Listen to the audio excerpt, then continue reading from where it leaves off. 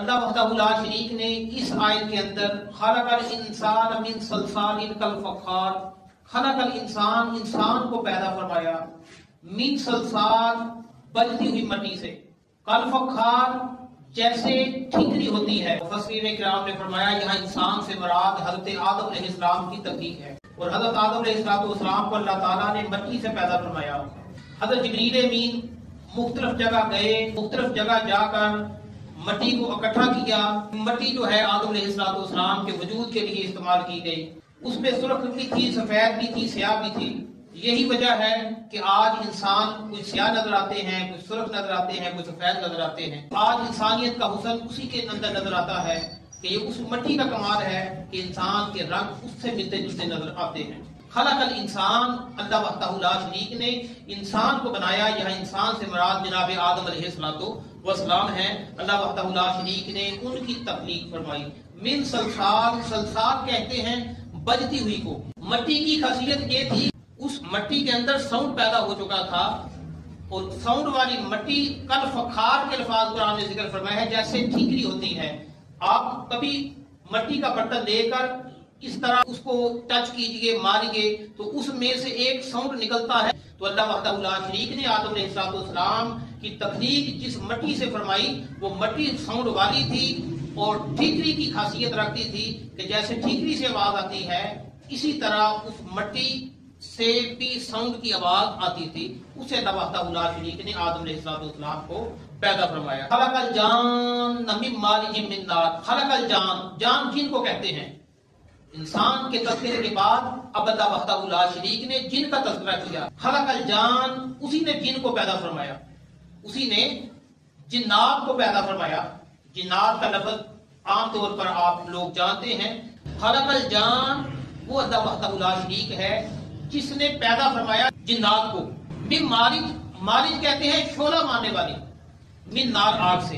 अल्लाह शरीक ने जिन्नात की तकलीफ़ के लिए शोला मारने वाली आग का अहतमाम फरमाया, उससे उनकी तकलीफ़ फरमाई। जब अल्लाह शरीक ने जन्नत में जो थे उसने आदम आदम इस्लाम को सईदा करो। इबलीस ने सईदा करने से इनकार कर दिया। उसने दलील जो पेश की बारी ताला, तूने मुझे आग से पैदा किया है। जब आग जलाई जाती है, वो ऊपर को उठती है।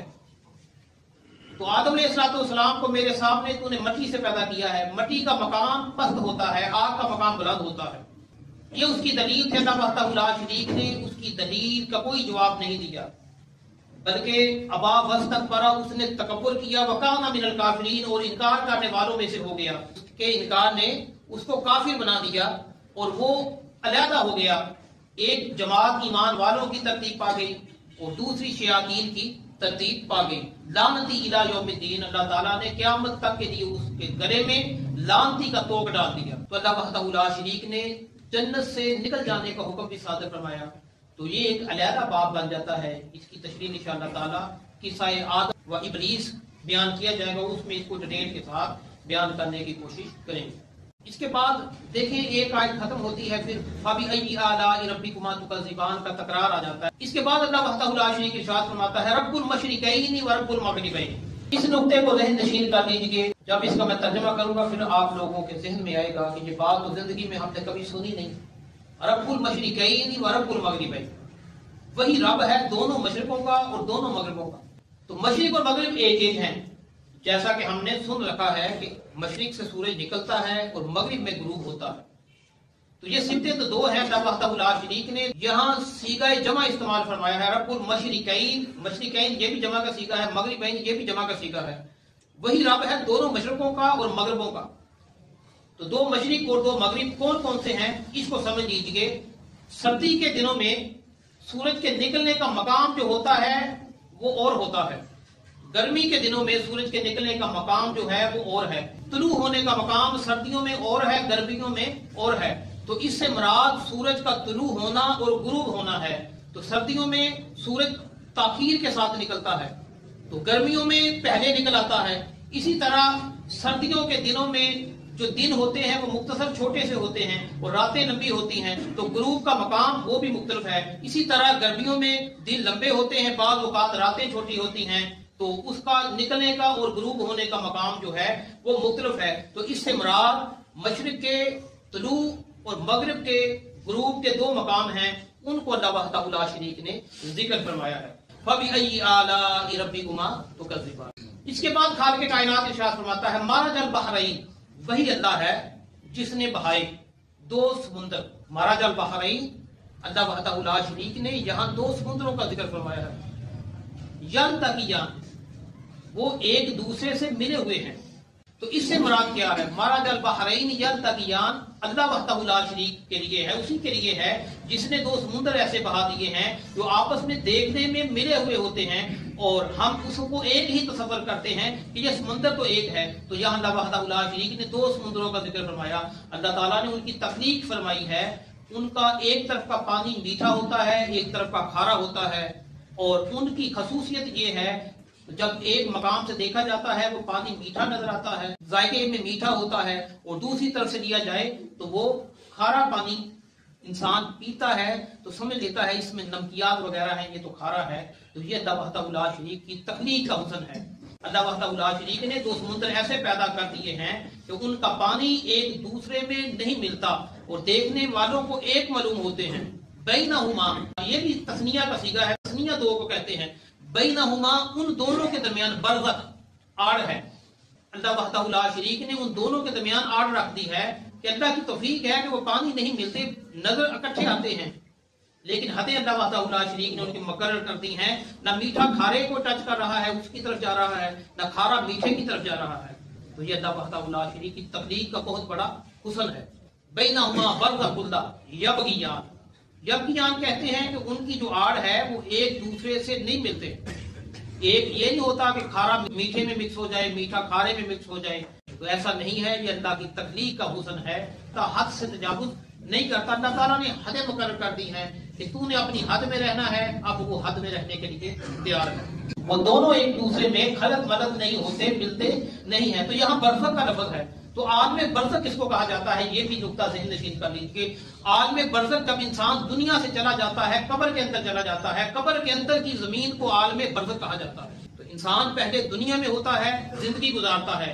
तो ये आलम दुनिया है, जहाँ हम ज़िंदगी गुजार रहे हैं।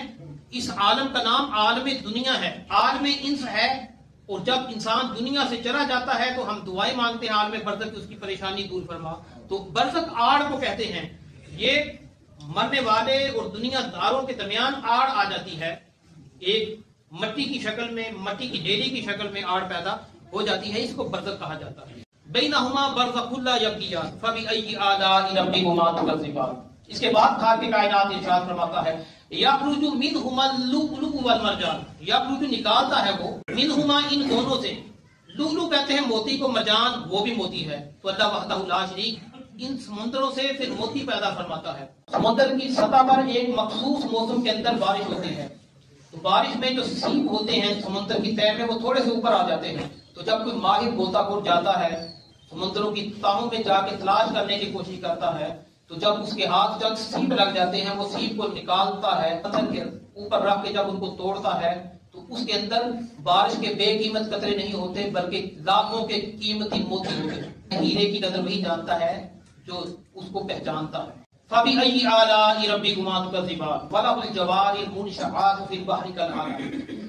जवार, और उसके लिए हैं चलने वालियाँ। जवार कहते हैं चलने वालियाँ। जवार कहते हैं सर उठा के जवार और उसी के लिए हैं सर उठाकर चलने वालियाँ। फिल बहरी कल आलाम समंदर हो, दरिया हो, उसमें जो पहाड़ों की तरफ़ नज़र आती है। तो इससे मुराद समुद्र के बहरी जहाज़ हैं। और कश्तियाँ हैं तो वो इस पानी पर किस तेज रफ्तारी के साथ चल रहे हैं। समुद्री जहाज़, कुछ बहरी जहाज़ कहलाते हैं कश्तियाँ कहलाती हैं। अल्लाह शरीफ की तोफीक से बहरी जहाज़ चल रहे हैं, समुद्रों, दरियाओं में कश्तियाँ चल रही हैं। अगर अल्लाह का फजल ना होता, वो तहस नहस हो जाते तुम अपने रब की कौन कौन सी नियमतों को चुटलाओगे तो यकीनन इंसान रब की नियमतों का इजहार नहीं कर सकता। इंसान खुद सरापा नेमत है अल्लाह शरीक ने इसे नेमत के तौर पर पैदा कर दिया है।